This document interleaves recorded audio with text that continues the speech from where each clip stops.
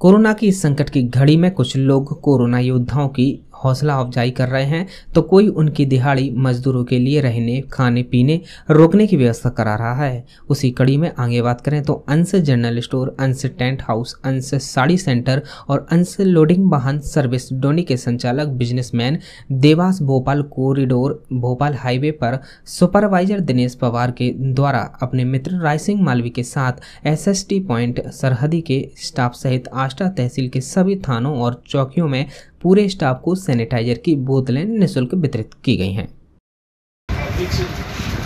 क्या नाम है आपका? दिनेश कुमार पवार। ये सैनिटाइजर किस उपलक्ष्य में आप वितरित कर रहे हैं? ये जो सैनिटाइजर मैं वितरित कर रहा हूँ जो अपने जो कोरोना योद्धा है पुलिसकर्मी ये दिन भर धूप में मेहनत कर रहे हैं। कोरोना के चक्कर में इनको सीहोर आष्टा से यूडी न्यूज़ के लिए राय सिंह मालवी की रिपोर्ट।